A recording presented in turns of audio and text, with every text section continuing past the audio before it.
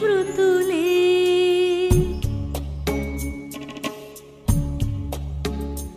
ओ दादी मे जीवितमे सर्वात्मलघु मी प्रतिवाक्यन्तु